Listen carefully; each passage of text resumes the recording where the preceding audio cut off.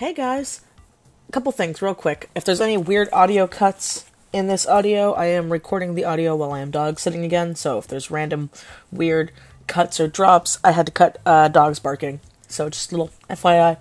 Another thing is uh, a friend pointed this out to me, and I don't want to be known as like the negative artist YouTuber because I've made, you know, a couple of rants and story times and stuff about the negative light in the artist community. And I say this as I have a critique. I don't think that these are negative opinions. This is a constructive criticism to artists who want to be vendors slash are vendors at conventions or just little like uh booths if you have like a little town fair or a little art show or something because I've been doing a lot, a lot, a lot of research into this over the years, and because I want to do one myself. Granted, at the time of making this, I have not done yet, one yet, but I have had friends who have done them. I have been a uh, advent, uh, advent. I have gone to cons and these things a lot, and I've done a lot of research in it. And there's a couple of critiques I feel I should point out to the people who want to do vending booths, who have vending booths, and uh, please understand this is this is meant to be constructive criticism, but I'm still gonna be me. So if it comes off as uh, rude or ranty, I do not intend for that to be. So let's get started. First of all, okay, um, this is like a really thing that bothers me, and it's really unprofessional. Is when the the vendors hall, the artist alley opens. Okay, so it's the start of the thing and people aren't set up. This bothers me because artists and Artist Alley are allowed to go in two hours before everybody else in the general public get to go in to set up. And that really bothers me because, in a professional st- sense, for normal vendors who aren't self employed and are working with a company in the big exhibit hall or at other conventions where they're selling all the other stuff, or even if you just uh, go to like um, Cody is a car guy, so we go to a lot of car shows. If a car vendor is not set up, fully set up by the time that the place is open, no one goes there because it looks very unprofessional. Because you are given extra time to set up.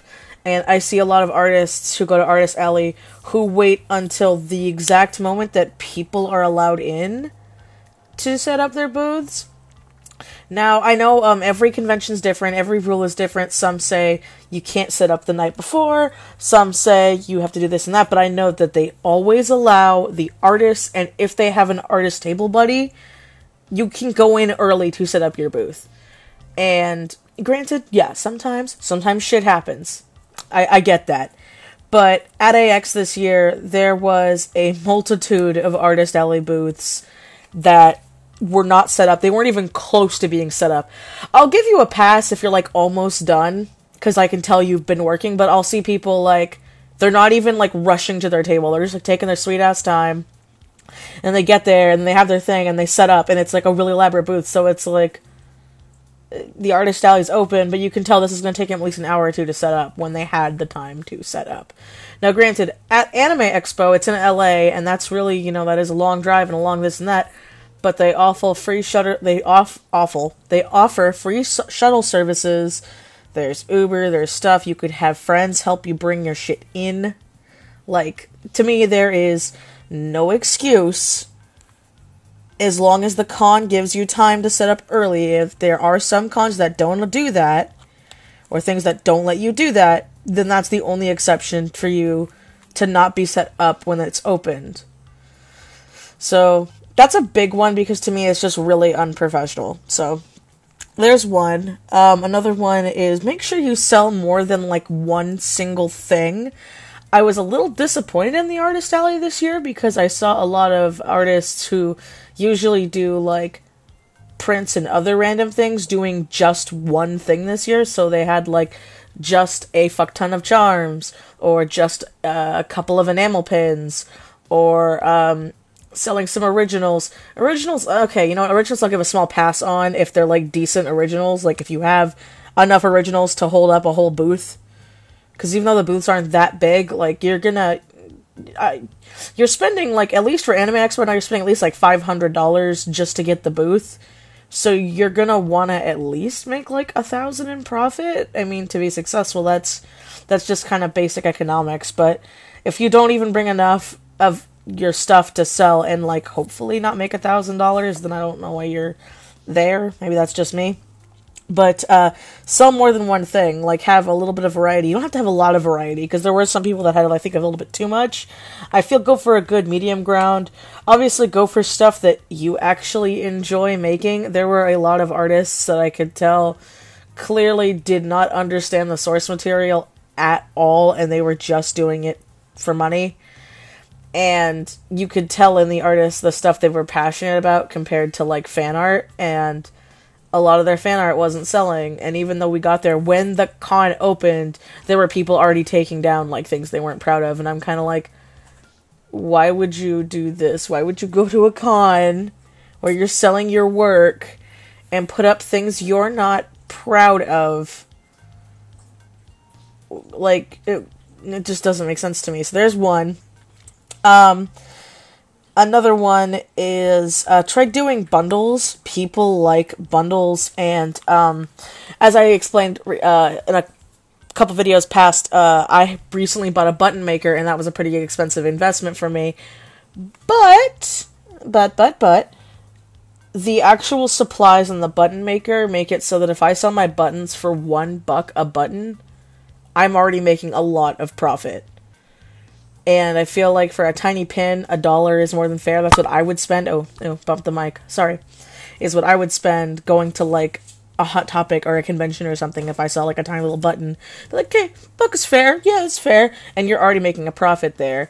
So you could offer bundles or packages. Then people are ten- a lot um more often inclined to buy more things, so you'll actually end up making more money. So like a buddy of mine, she went to AX all four days, and she got this really nice button pack, where it was like a really really big like two three inch button with like three or four small buttons, and the whole thing was five dollars. And she asked me, she's like, "This was a good deal. It sounded like a good deal." And I'm like, "Yeah, that's definitely a good deal because probably you paid for like the big button, because I'm assuming that one was pretty expensive, like." Finger quote expensive. They're not that expensive to make, but like, you know what I'm saying you know, and so then they threw in a couple other buttons, so you know you feel like you got a little bit of extra in there. Because again, if you're even selling them for a buck a button, you're already making a profit. So there's that. Um, don't oversell your stuff. The only exception to this, in my mind, is if you have a name to go behind it. And even then, like, I'm never comfortable with that stuff. So even, you know, if and when, hopefully, hopefully, you know, when um, I make it like big and stuff, I will never have my prints unless you're buying like a giant poster or something, because that would make sense. I would never have my prints be really expensive because I like to follow the rule of would you buy this? Because there's a lot of artist people that I've talked to where everyone wants to make money. Artists want to make money. You know, it's always you you want to make money. You don't want to undersell. You don't want to get ripped off. But they'll say stuff like, "Oh, well, I should be selling." People have told me I should sell this for a hundred dollars, and so then I ask them, "I'm like, so would you buy that for a hundred dollars?" And they'd be like, "Well, no," but other people say they'd buy it. And I'm like, "Well, you yourself will not buy it, so how are other people supposed to buy it?" That's that's that's my mentality behind it. If um, I'm doing mini prints, like really tiny, like five by sixes or something, because I saw those too. I would probably. It depends on what. Okay, it depends. Yes, it, you got to put into account, you know, where you got it printed. If they're like limited editions, if they're nice prints, like if they have uh, like gold leaf or like that, like that. uh uh, the metallic ones are like what's big right now, the the metallic film over them, then okay, you know you can add like a dollar or two for that because again, as bad as it is to say, as an artist, I know how much this shit costs. I don't want to say because then people might be turned away from it. But it's usually in like you got to buy it in like orders of thirty or five hundred or something. It's the same with pins. It's like when you see pins and buttons and little charms go for like five six dollars, you're like, oh, I want to spend five six dollars. It's like, well, the artist had to spend probably like a good few hundred dollars getting these made because they have minimum caps because you know, the company making the charms has to make money too.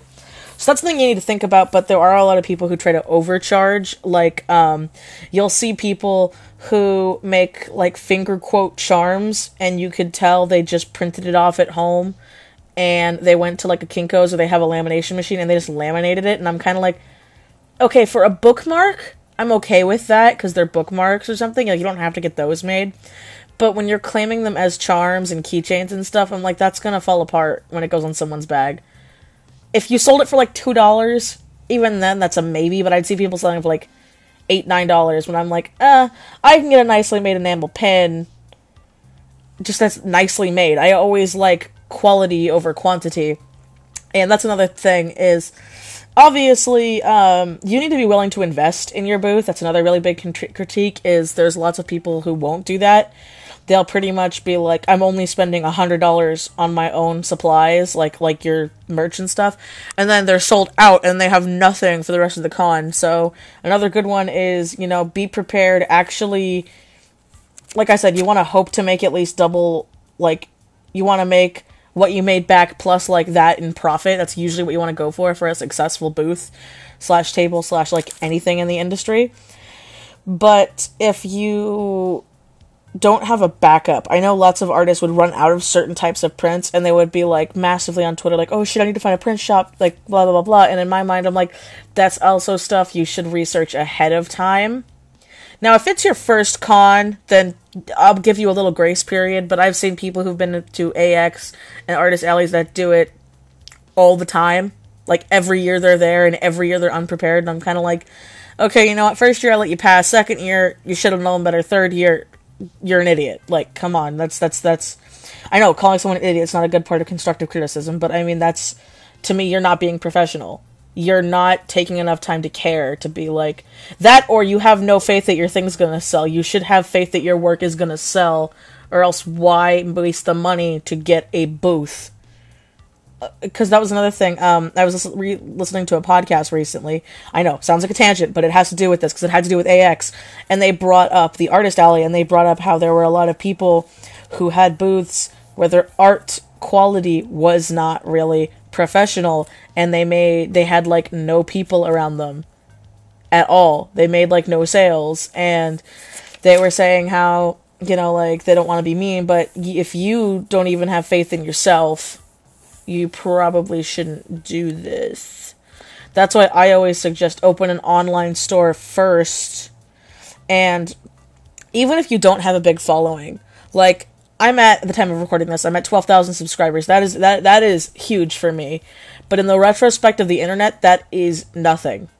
I mean, just look at at any of the big YouTubers out there, and that's just YouTube. You know, look at big artists out there. You'll see their Twitters have like 5,000 things on Twitter, like 4,000, 8,000, 10,000 on their art websites, that kind of stuff.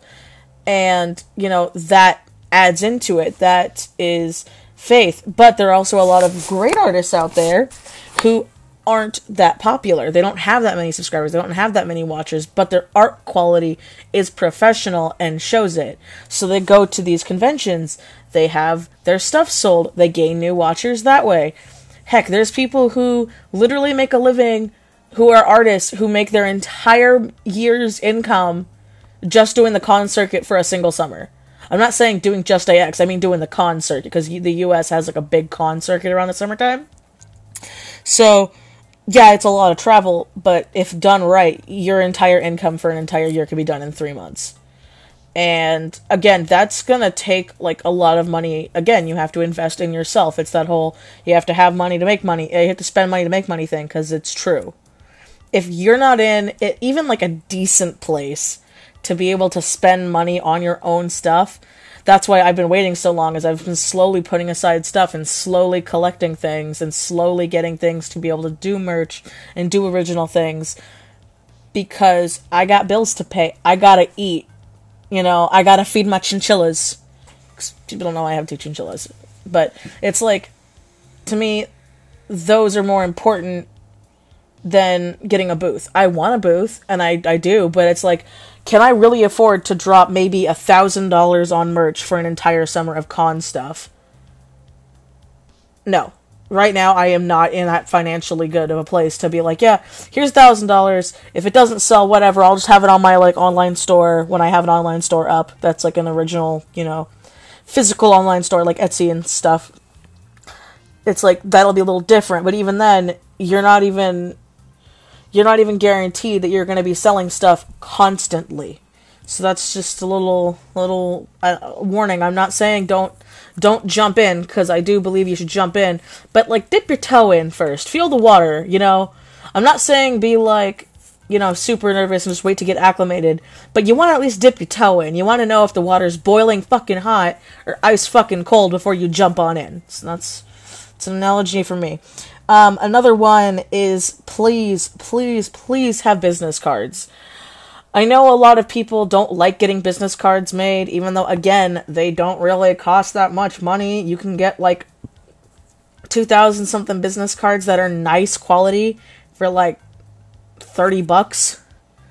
So, and don't, and don't ask people to buy business cards. There were a couple of people who were trying to sell their business cards, and I'm like, a business card is something you kind of, you know, you just, they're supposed to be free, so you're giving people your information so you could get business in the future. I mean, that's why they're there. It's got your information on it. It's not a mini print. I mean, if you want to do mini prints like business cards, I mean, I guess you could, but that would be like. You'd have to do like a bundle to even worth it. I wouldn't buy a business card size print unless it was like an original ACEO or something, and even then it'd have to be something I liked. But then again, that's me. I don't know. Maybe I'm weird. But yeah, get business cards. Uh, have your business cards be very clear. Don't have it be too cluttered. Um, have it let it have your information on it too. Like my buddy uh, went and she got more business cards than I did at AX, and there were some that just had a picture on it. There was there was no information. Again, it was kind of like a print, and I was like, "Am I supposed to know who this artist is? Because the picture's cute, but like." There is no way I know where this person is. I have no idea what their social medias are. I have no idea what their email is. I don't even know their name. Because it was like such a tiny little business card. And my buddy was even saying that, yeah, like, yeah, she agreed with me. That was kind of BS. You shouldn't do that. So, you know, have it. Um, that's another reason why you probably want to have the same username or like really, really similar usernames across all the platforms. At the time of making this, I'm like gonna hope, hopefully, I can get Twisted Disaster for my like YouTube. But I'm like Twisted Disaster on almost every platform except for YouTube, where I'm Twisted Disasters Arts. That's also like my Facebook and on Twitter where it's Twisted Disaster, but the E's are threes because some asshole took Twisted Disaster because you know I'm an edge lord and I needed that name. But it's like you want to try to have as close to a username or your name as possible. If, and if you don't want your social medias, have a business email, some form of contact. Because if not, then there's like no point. And if they don't know where to follow you, then again, why are you at a convention selling your stuff? I just I don't know. Maybe that's maybe that's me. Um, Another one is make sure you bring cash. This is going to be a long video. Oh my god. Bring cash, okay? Bring cash because there's lots of artists who are like, well, I'm going to make all this money, but then people are going to show up and they're going to ask you to break it and you're not going to have cash. And then they're going to go somewhere else and probably forget you exist because that happens when the artist alley is as huge as it is. Is they'll be like, oh, you don't have change? Okay, I'm going to go. Unless they're like, they really, really want something, you're probably not going to see them again. They'll probably go to someone who has cash. I would say get a hundred dollars cash and like uh fives and ones and like change actual like change change if you if you're like using change a lot of people don't use like coins so if you're not using coins don't do it but like fives and ones because the majority of your sales are not actually going to be from print it's going to be from little knickknacky things that people have just spare money for because that's usually what kids spend on. Yes, there are professionals who buy artists and buy prints, but a lot of the times at these conventions, there are little kids. It's like, oh, kids' first convention, you know, and their mommy or daddy gave them like five dollars. They're not going to be able to get a twenty dollar print. So, like, have buttons, have pins, have knickknacky things, that kind of thing. And those do really, really well. That's why I, I, I'm saying like you should have at least some of those, but don't make like your whole booth that unless you have like a really, really big variety. But even then, like it has to be a very vast variety in my mind. Um, yeah, so bring money because that's another one. Like people don't want to, they don't want to bring money because they're like, "Oh, I'm supposed to be making money." Why? am It's just, it's because people, people are stupid. Okay, people don't bring exact change. I know I didn't. I had like a hundred dollars in twenties, so I needed change. and I had a couple artists who I wanted to get stuff from, and they didn't have any, and they told me to go look, and I like honestly, I kind of forgot about them. I felt bad, but I forgot because the artist alley was huge. So bring bring um, spare money, get like a cash box or something. That's another one. Um, and I'm getting close to the end, which is really which is good. Um, it's, it's 20 minutes, and people seem to like my videos, and I ramble. So only do commissions if you have the time to do so. This is really big because I noticed not as many people were doing commissions this year. When my first year at AX, like every artist was doing commissions. Um, and I think what was happening was there was a lot of things going on, a lot of artists scamming people and not getting their stuff done or or doing it so fast that it wasn't even like the example in which it caused people to be like disappointed and kind of want refunds and then they didn't get refunds because they still did work. So if you want to do commissions, all right, you got to keep in mind one, how long's the con? Like for real, uh, if your con is only like a day, don't offer commissions. I just don't see that point. If your con is like AX where it's four days and you want to do commissions, get that shit done when you go to your hotel room or you go back home because like I, I get it. You know you want your workday to be done. You don't want to think about it anymore. You want to just chill for the rest of the day because it is hard. It is it is hard manning a booth. It is stressful and you know and uh, makes you anxious and stuff and you want to chill. But if you don't get all of your commissions done the day of the con or the day you go back then people are going to ask. You're going to get people because as bad as it is, I was one of those people, and I don't even like being a nag. But I would go all four days, like with my buddies, and we would tell them like, okay, if you don't, if you want to do it later, you can do it later. I'm going to be here all four days, and so I'd go the next day, and they'd be like, oh, it's not done yet, and I'm like, okay, go the day after, it's still not done, and I'm kind of like, okay, and then I'd get on like the fourth day, and honestly, only a small handful was even worth it. And my buddy had been uh, screwed over because like some people just never did them they never ever did them. They Got away with money. And so it's like if you're not willing to take the work back with you and get them done in your room or wherever you're staying, then you probably shouldn't have opened for them and you probably shouldn't have taken them. Or you should have capped off when you realized you were overwhelmed. Because I've seen people do that too, where they'll be like, okay, I only have like four or five commission slots for the entire day because they want to have nice quality commissions, they want to get it done quickly and people would bitch and moan, but I'm like, no, that's more mature to cut yourself off before you get too overwhelmed. Because when you get too overwhelmed, what do most people want to do? You don't want to end up doing it. So, um, hopefully this wasn't too negative. I wasn't trying to have this be negative again. This was this was my uh, me just trying to give thoughts out there for things that uh, you should do if you want to sell art like that and keep at least or keep it in mind. Because if again you want to do this kind of stuff you should treat it like a profession because a lot of people do. If you're just doing this for shits and giggles and because it's fun for you, then fine. But if people think you're not professional, don't get mad at them because you're not. You're not acting like a professional. You're not acting like this is your job. And granted, yes, for some artists it's not. Some artists they just do this for fun, for some quick cash. Good for them. But if you want to be treated like a professional, you need to show that you are professional have good work ethic, have good product, have good this and that, you know, have and even if you're like antisocial, you know, at least try to try talking to people. I know it's hard, but try talking to people, try to communicate. People want to get to know their artist, especially if they're a fan. I know because that's what I would do, and I would find a fan, an artist that I loved for years is going to be there. I want to talk to them and want to like meet them. I know we're not going to be bosom buddies or become friends suddenly, but I'd like to at least kind of like, you know, see the person behind the art, so. Mm. I don't know. Maybe I'm just weird. Anyway, I hope this helped you guys. It's another long e video, but I heard some people say they really like when I do these because they like listening to me while they work, which makes me happy because I do the same thing. Not to my own videos, but to other people's videos. So, I'm going to end it here.